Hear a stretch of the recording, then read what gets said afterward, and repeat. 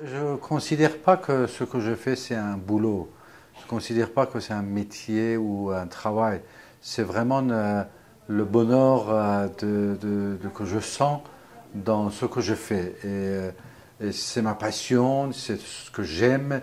Et donc, c'est vraiment d'aller aux rencontres du monde, de, de des gens. Ce n'est pas un, travail, je ne le considère pas comme un travail. C'est comme un mode de vie. C'est comme respirer pour moi.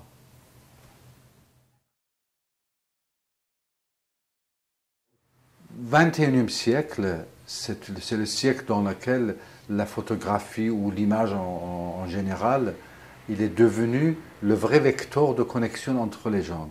Les gens, ils regardent une photo pour connaître un lieu, les gens, ils regardent une photo pour connaître une personne avant de lire sur son histoire.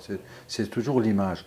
Donc, pour moi, l'image, aujourd'hui, c'est le meilleur vecteur pour tout changement social, pourquoi? Parce que les changements sociaux, ils viennent avec le, changement d'attitude des êtres humains envers quelque chose. Et l'image, il aide ce changement d'attitude.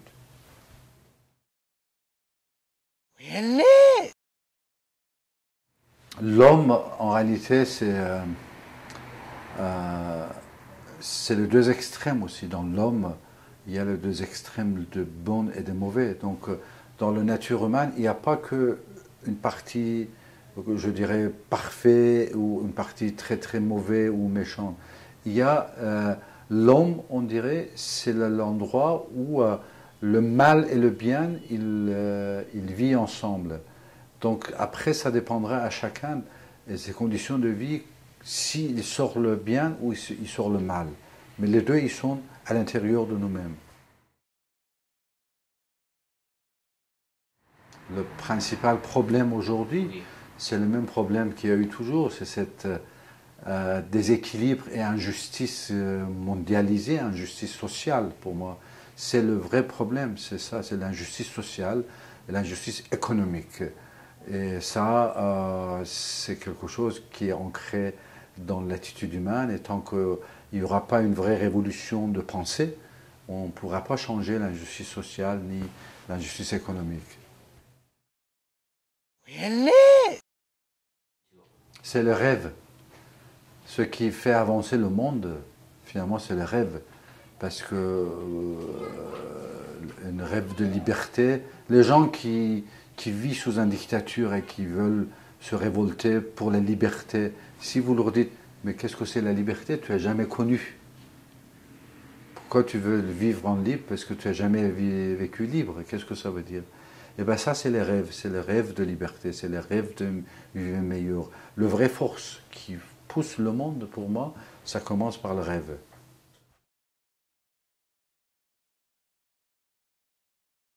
Ces dernières années où j'étais témoin euh, dans le monde, dans tous les centaines de pays que j'ai voyagé, je vois combien la, fracture sociale, la fracture économique est en train d'augmenter.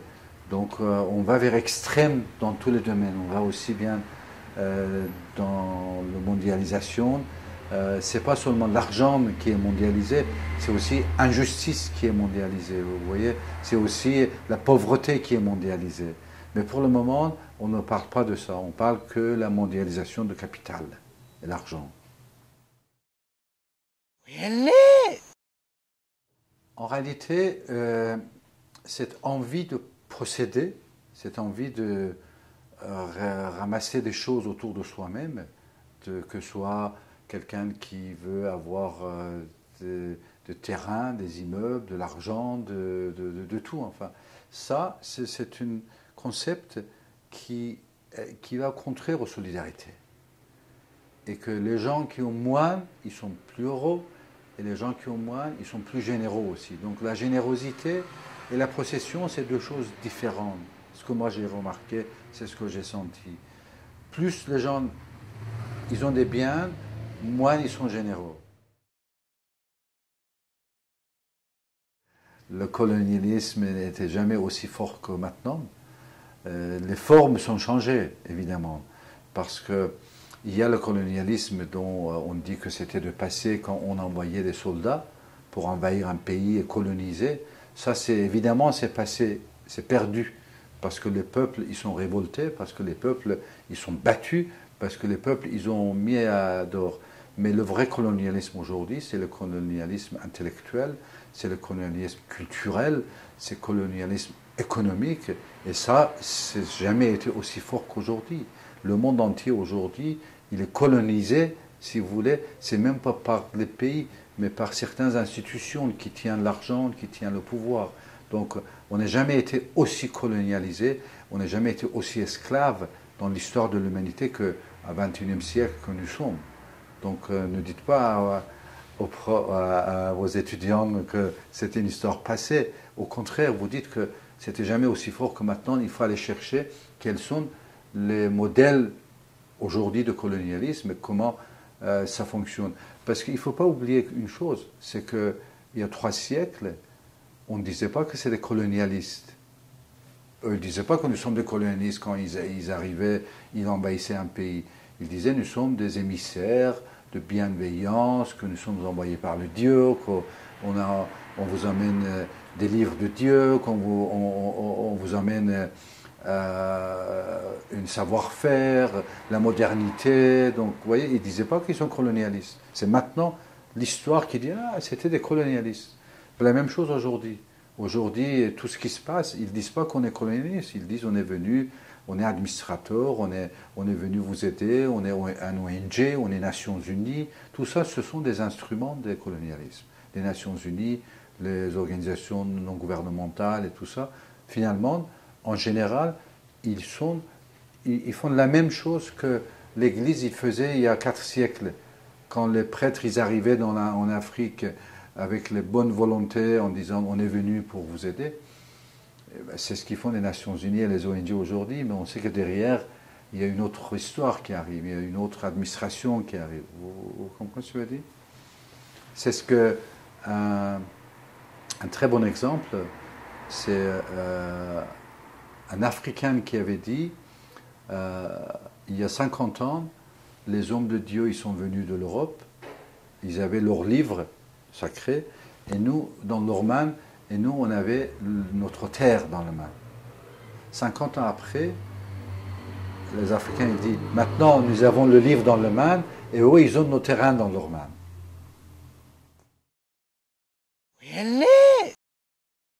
Bah, c'est quoi colonialisme C'est mettre la main sur l'économie d'un pays. N'est-ce pas? Où sont les ressources humaines naturel du monde aujourd'hui? Qui gère le, nature, euh, qui gère tous les ressources humaines aujourd'hui? Pardon. Qui gère toutes les ressources naturelles? Qui gère le pétrole aujourd'hui? C'est le pays euh, qui était le colonie, les colonialistes, non? C'est eux qui gèrent tous ces, toutes ces ressources naturelles, c'est eux qui gèrent l'argent, c'est eux qui gèrent presque toutes les ressources primaires, les minéraux et autres dans, tous ces pays en Afrique. Vous allez voir les Africains, ils ne sont pas maîtres de leur destin, ils ne sont pas maîtres de leurs économies, ils ne sont pas maîtres de, leur vie sociale. Tout ça, c'est géré par euh, d'autres pays, mais, ou des institutions qui ont les noms de FMI ou Nations Unies ou WHO. Enfin, vous voyez, tout ça, c'est finalement, mais toutes ces organisations, ça aide à, euh, à continuer cette forme de colonialisme. Les médias, en réalité, comme on dit, médias, ça veut dire qu'il faut qu'ils soient médiums entre les peuples, entre les gens. Au départ, le, rôle des médias, c'était cette connexion entre les êtres. Mais euh, aujourd'hui, il a perdu cette, euh, cette, cette, responsabilité parce que justement le grand pouvoir, l'argent, que les, les, grandes sociétés, les grandes entreprises, ils ont acheté tous les médias.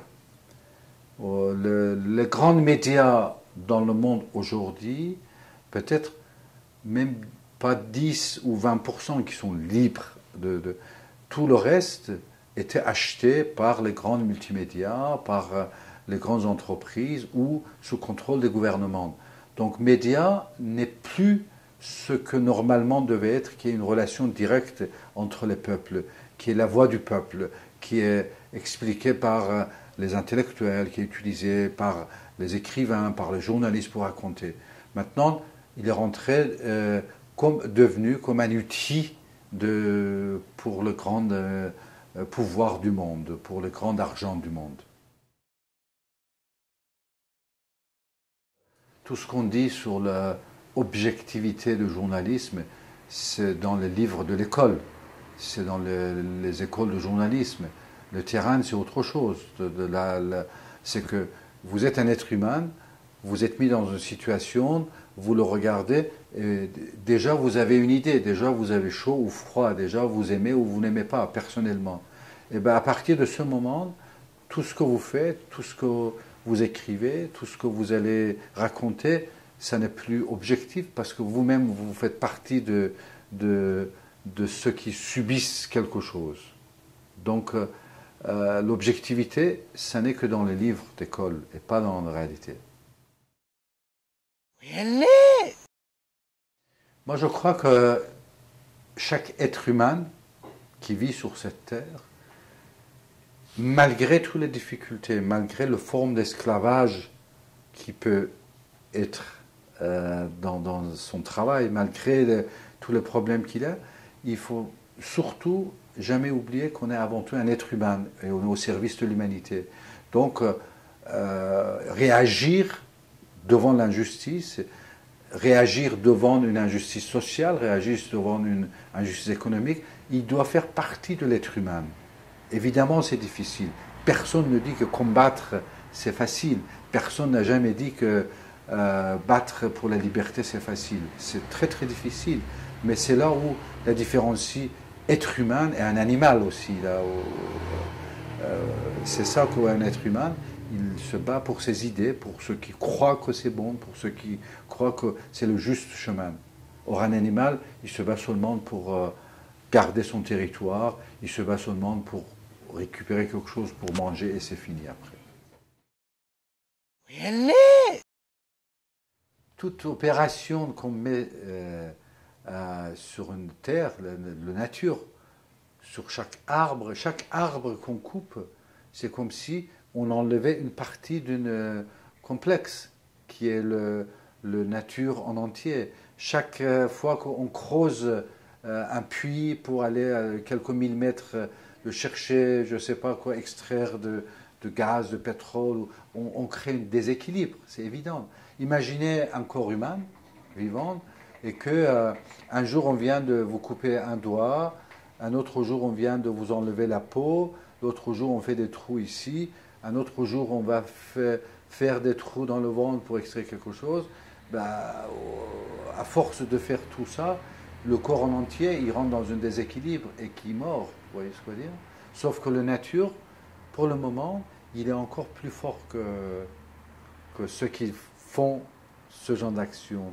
Et qu'à un moment, il peut très bien euh, faire un petit secours et se débarrasser de tout le monde il peut très bien de baisser de 5 degrés ou de monter de 5 degrés, mais vous savez, si la nature il baisse de 5 degrés, il monte de 5 degrés, on est fini. Euh, c'est fini. Ou, euh, euh, on, voit ce qui se passe. Les petits changements, ça peut très bien avoir des conséquences très très graves. Il y a un proverbe chinois qui dit que le battement des ailes de deux papillons dans le nord peut créer une tempête dans le sud. Et ça, c'est vrai, c'est que ça veut dire que même les deux papillons qui font des vêtements de deux ailes, ils, ils ont euh, une vraie euh, influence sur tout ce qui se passe dans la nature. Donc il ne faut pas croire que ce que nous faisons, c'est rien du tout, qu'on est juste en train de creuser un puits, qu'on est en train de, euh, construire quelque chose, qu'on est en train de faire des produits chimiques et qu'on jette dans les rivières et c'est rien du tout. Chaque acte qu'on fait, ça rentre dans le jeu de l'équilibre qui existait et qui existe.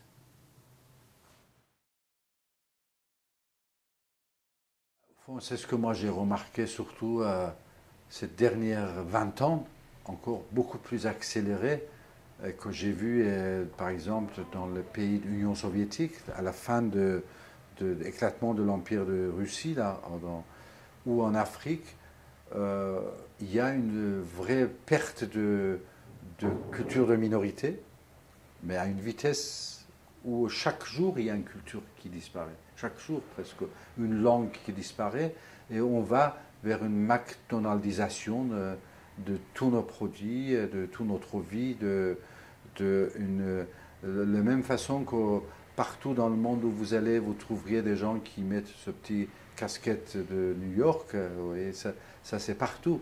Or, il y a dix ans, euh, les gens ils portaient des turbans, ils avaient, chaque peuple avait son chapeau, chaque chose avait.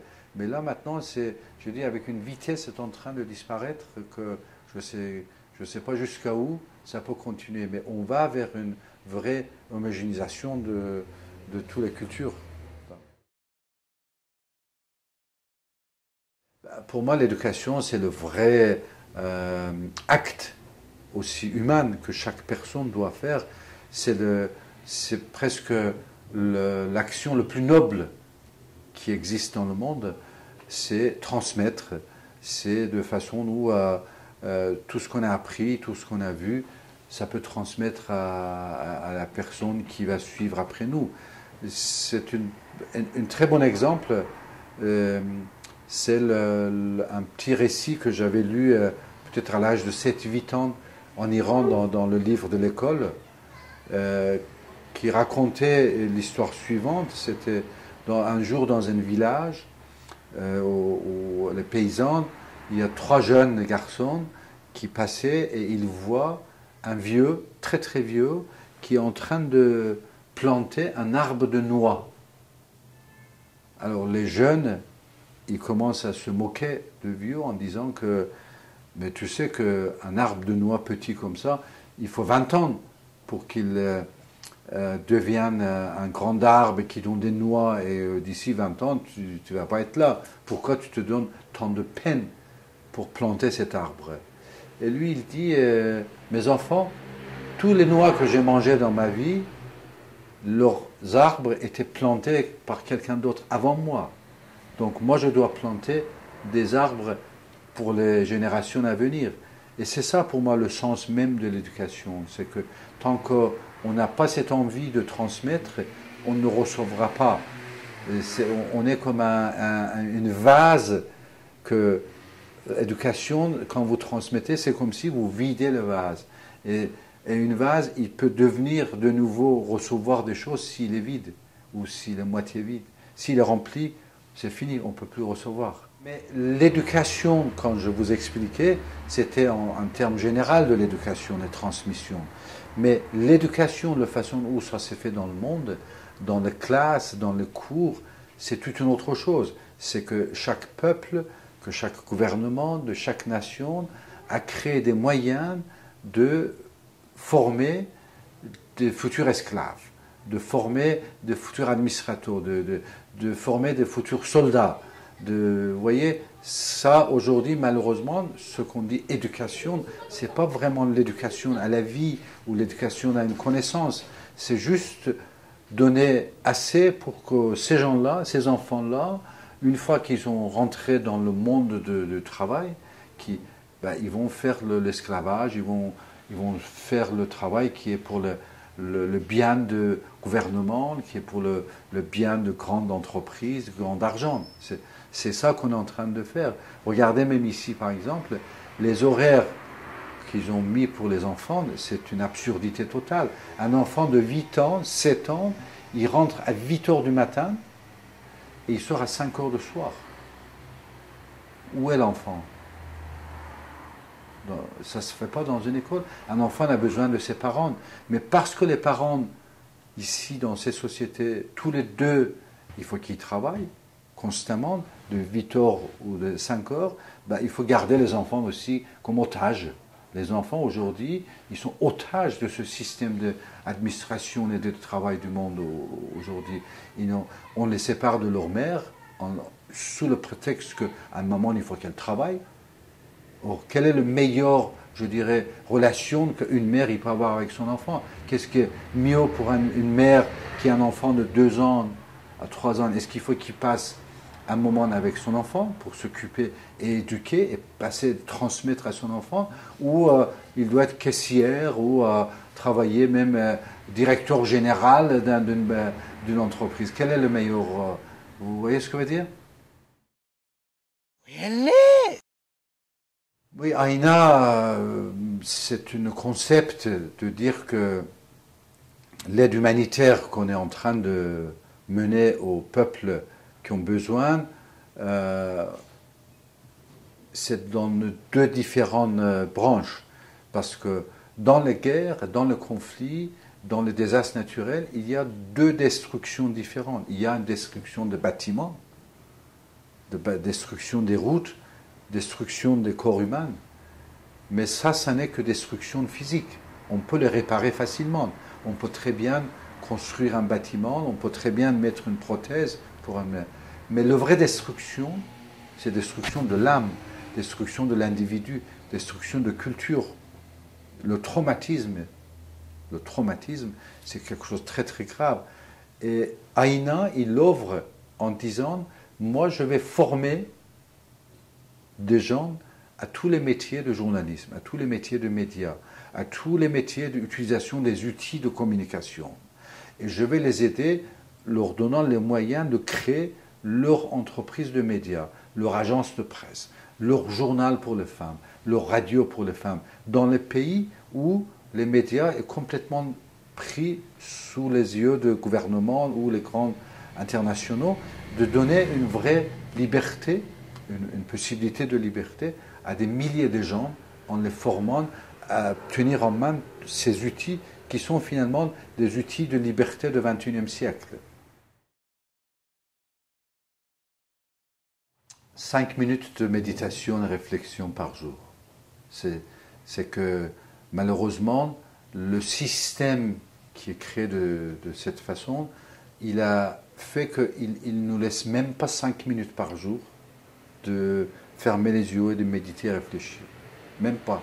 C'est que depuis qu'on se réveille jusqu'au moment où on couche, on est tout le, tout le temps et minuté par, euh, par radio, par télévision, par le travail, par le coup de fil, par les emails. Par... Donc, ce temps de réfléchir, ce, recul en disant mais qui je suis, qu'est-ce que je fais, qu'est-ce que je peux faire? Est-ce que c'est juste ce que je vis aujourd'hui? Est-ce que c'est juste ce qu'on me fait? Eh bien, on ne laisse pas poser ces questions. Et c'est à partir du moment où l'être humain aura la possibilité de poser ces questions, de mettre en, doute tout ce qui est autour de lui, qui pourra avancer et révolutionner les, mentalités, ça viendrait de là. Oui, c'est ce que je dis, c'est que tout est prévu pour qu'on n'a pas ces cinq minutes de réflexion par jour. Le, sport, les grandes shows, les programmes de télé, regardez tout ça, tout ça sous le nom d'entertainment. Qu'est-ce qu'on apprend de tout ça? D'où est l'éducation? D'où est cette envie de progrès? Tous ces programmes de, entertainment dans la télévision Au départ, euh, la religion, c'est quelque chose individuel et spirituel. C'est que chaque être humain, quelque part, a senti et il sent aussi qu'il a un besoin de quelque chose au-delà de, de ce qu'il voit. Il a un besoin de spiritualité, il a un besoin de, paix intérieure. Et tout ça, c'est euh, sur les différents nombres de religions qui sont apparu euh, dans, l'histoire. Un jour, ils ont pris différents noms, toutes ces religions. Mais aujourd'hui, malheureusement, toutes ces religions, aujourd'hui, ils sont politisées. Toutes ces religions, ils sont utilisées ou euh, par les politiciens pour avoir des soldats pour leur idéologie et de faire ce qu'ils veulent au nom de religions, ou euh, quelque part, avec les, grands internationaux, les, grands argent, les, grands pouvoirs, ils utilisent ça euh, avec l'aide de clergé. Évidemment, le clergé était toujours main dans la main des gouvernements. ils ont travaillé ensemble, que ce soit le gouvernement ou grande fortune, ils ont toujours été les trois, les, euh, le, comment dirais-je, les triangles de, gouvernement, des religions, des clergés et les grandes fortunes, ils ont toujours fonctionné ensemble contre le peuple. Toujours, toujours. Même le moment où euh, ils utilisent la religion comme idéologie. Donc aujourd'hui, pour moi, les religions, ils sont devenus des instruments dans les mains des politiciens ou les grandes fortunes ou les gouvernements pour encore plus esclaver les êtres humains. Or, la vraie religion, comme je disais, c'est ces cinq minutes où tu peux fermer les yeux et réfléchir et méditer et savoir qu'est-ce que c'est le Dieu, qui je suis par rapport à, à ça, par rapport au monde. Et c'est ces, minutes de questions qu'on a besoin. C'est plus de 50% de la population du monde aujourd'hui qui se bat euh, pour sa, survie, pour sa nourriture. Et pour moi, c'est eux, c'est pas une personne ou deux personnes. Peut-être que vous trouveriez dans certaines parties un, chef de guerrière ou, quelqu'un qui se bat pour construire des écoles pour, pour sa maison, pour son village et autres. Mais en réalité, les vrais combattants d'aujourd'hui, ce sont les, les 3 ou 4 milliards de hommes et femmes et enfants qui vit sous le seuil de euh, pauvreté, qui vit avec rien du tout, ou, euh, et qui se bat constamment devant ce monde pour avoir accès à ce que les 1% de population il tient dans la main. En tout cas, le Sud, il est beaucoup plus sous cette pression que le Nord. Mais moi, je crois que cette mondialisation dont on parle, mondialisation d'injustice, ça n'est plus le sud et nord, parce que dans le nord aussi, vous trouvez euh, les, gens qui vivent sous la seuil de pauvreté, dans de plus en plus en plus. Vous voyez ce que je veux dire? En France, on n'a jamais, jamais eu autant de gens pauvres qu'après la Deuxième Guerre mondiale. il y a plus de gens pauvres aujourd'hui en France qu'à la sortie de la Deuxième Guerre mondiale. Et ça, c'est les, statistiques qui montrent. Donc, euh, cette injustice sociale, qui était beaucoup plus sur le sud, maintenant est en train de gagner le nord aussi. Et on, va vers une forme de gouvernance ou euh, de vie, l'exemple qui existait dans le Moyen Âge, où vous aviez un château,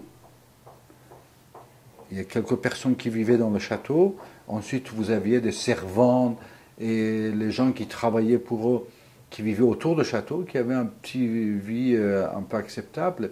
Après, vous aviez tous les paysans euh, sur la terre de cette euh, personne de château qui vivaient dans des conditions épouvantables.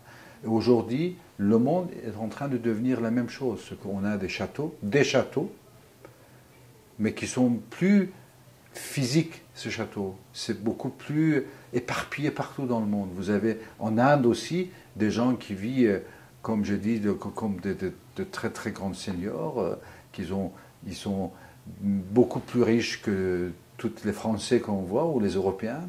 Et en même temps, vous avez les plus pauvres, les plus démonis aussi en, Inde ou dans d'autres pays du monde. Donc, cette injustice, ce n'est pas seulement une injustice visée sur une partie de la terre, mais c'est en train de gagner et reprendre l'ensemble. Et c'est là où la vraie révolution du XXIe siècle va arriver. Et moi, je crois que cette vraie révolution, ça commencera aussi ici, en Europe et euh, dans le Nord.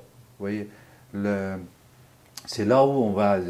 Tous ces mouvements, ils nous emmènent vers une vraie grande révolution dans, dans les années qui viennent.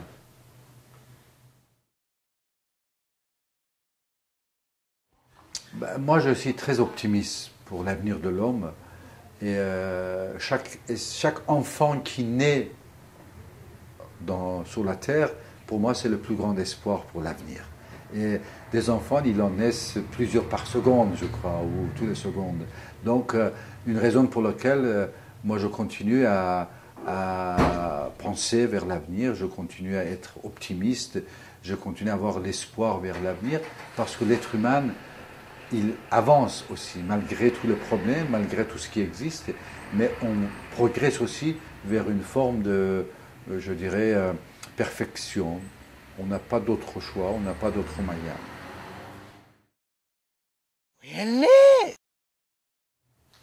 Le, le vrai démocratie, ça n'existe pas. Et que aujourd'hui, nous ne vivons pas dans une démocratie, où que ce soit dans le monde. Pour le, parce que les gouvernements, ils sont là pour contrôler la population. Leur rôle, c'est contrôler la population. À partir de ce moment, donc, il n'y a pas de démocratie. Même dans les démocraties les plus avancées, que ce soit ici en Europe ou aux États-Unis, vous voyez très bien comment ça se passe dans les élections. Ils trichent même dans les élections, ils jouent les enjeux politiques pour être... Quelle démocratie où finalement, constamment, vous deviez choisir entre deux partis ou entre deux personnes. C'est ça une démocratie?